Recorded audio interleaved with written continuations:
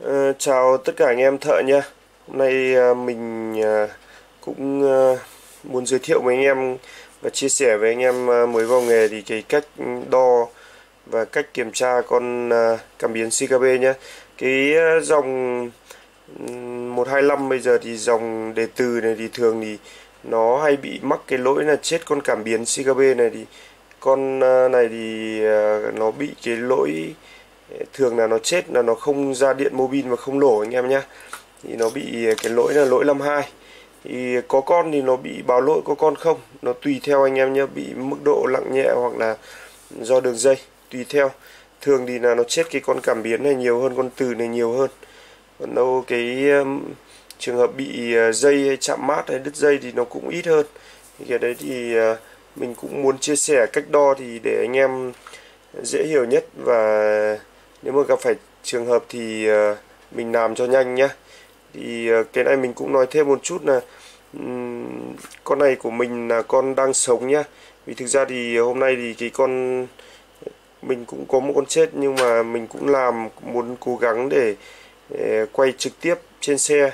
Nhưng mà khách người ta vội và người ta cũng đã mang con cảm biến về. Nên mình cũng không thể nào có con chết để đo trực tiếp cho anh em nhìn được. Nhưng mà mình cũng sẽ giải thích và nói để cho anh em hiểu để anh em ờ, đo nhanh nhất. Thực ra thì cái dòng xe mới này thì ở trong thành phố thì các anh em gặp rất nhiều. Ờ, còn các anh em ở vùng hơi xa một chút thì mình cũng muốn chia sẻ chủ yếu những em học nghề hoặc là những em ở nơi xa thì để anh em có thể là kiểm tra được luôn. Có những em thợ thì, thì thường thì có đồng hồ nhưng mà thực ra thì có anh em không có thì mình cũng muốn chia sẻ luôn. Nói luôn là con này 100% là chết.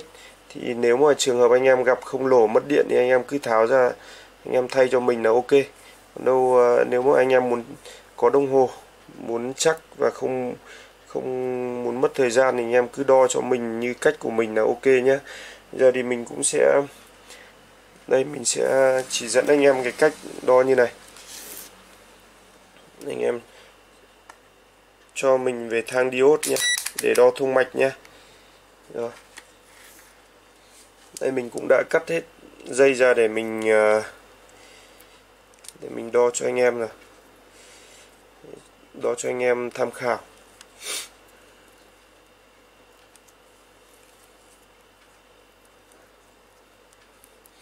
Như anh em à, lấy dây dương đây là bốn dây tín hiệu anh em nhé. Dây dương à, dây dương là dây lâu sọc đen và dây mát đây anh em nhé, dây xanh. Thì mình à, đây là con của mình là con sống anh em nhé. Mình sẽ đo cho anh em nếu mà cái trường hợp mà đo thông mạch là không được phép thông, không được phép thông anh em nhé. Không được phép thông. Nếu mà nó thông nhau là nó chết, chỉ số bằng nhau là chết. Ví dụ như mình bây giờ mình đo đây dây lâu sọc đen là dây dương. Thì mình sẽ đo tất cả mấy các dây còn lại. Giờ mình sẽ đo dây uh, mát trước nha dây mát của nó là 838 nếu mà trường hợp mà anh em đảo dây đảo dây đảo chiều đo sang nhau như này. Như này không thông là đang sống nha nếu mà nó thông chỉ số nó giống nhau. Hai hai dây đảo đo sang nhau mà nó thông thì là cái đấy là chết anh em nhé. Còn đây là mình đang đo như này là chuẩn này là sống thôi. Giờ mình sẽ đo với các dây tín hiệu khác như là dây ờ, trắng sóc đen là dây ờ, tín hiệu bơm xăng tín hiệu uh, vô lăng nhé. Đây. 845 nha sang dây tín hiệu này dây trắng sọc xanh. 847 cũng là ok anh em nhé. Ok hết anh em nhé. Chỉ số đang rất là chuẩn nên là con này đang sống. Thì như vậy là con này đang sống. Đâu cái trường hợp mình nói thêm một chút nữa. Nếu mà cái con cảm biến CKB này nó chết anh em đo cho mình vẫn để thang diode như này để đo thông mạch như này. Nếu mà cái trường hợp mà anh em đo dây xanh thì mình không nói thì là nó nó thông sang nhau thì uh, như vậy đâu nếu mà anh em mà đo sang các dây này đo sang các dây tín hiệu này thì nó sẽ bị cái ờ, dòng điện nó sẽ giảm đi. Nó đang là 847 anh em nhé. Thì nó sẽ còn một lửa nó rơi vào nó bị thông sang nhau nên nó bị uh, uh, giảm đi anh em nhé. Nó chỉ còn rơi vào 420 khoảng 420 là như vậy là là anh em phải thay con cảm biến này cho mình. Đấy là một cách đo đơn giản nhất. Thì thực ra từ nãy mình nói thì uh, anh em cứ nghe kỹ cho mình là ok nhá. Thì cái này thì ờ, đo thì thực ra thì nó cũng đơn giản thôi. Anh em cứ đo cái cách này cho mình là được. Thực ra thì thường thì nó chết cái con cảm biến này là nhiều chứ.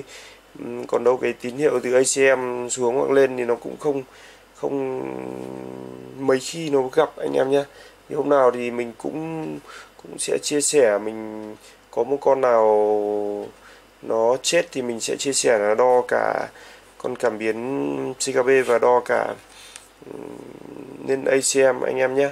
Thì thực ra mình cũng nói thêm một chút nữa là cái con ờ, đời 125 này thì dòng một lít hay lít thì nó cũng không bị chết IC nó chỉ báo lỗi thôi.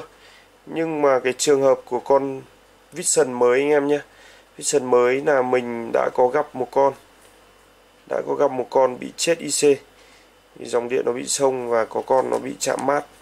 Nó có nếu mà thường thì anh em nếu mà gặp thì anh em uh, kiểm tra cho mình ở trong cốp ở dưới đằng sau. Anh em kiểm tra đằng sau cho mình ở cái à, phần dưới chế một chút. Nó chạy ngang sang anh em nhé chạy ngang sang chế nhé ở đằng sau chế anh em nhé gần gầm xe. Anh em kiểm tra cho mình xem nó bị chạm nó bị chạm xuống máy không nhá. Trường hợp mà chạm xuống máy nó sẽ báo lỗi chín nháy nữa. Như vậy là là là là anh em kiểm tra như thế là ok.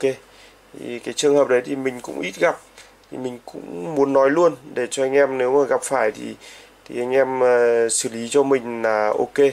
Không để để thì nó có thể nó xảy ra cái trường hợp đứt IC mình cũng đã gặp rồi nha anh em nhé thì đấy thì cũng, mình cũng muốn chia sẻ với anh em như vậy.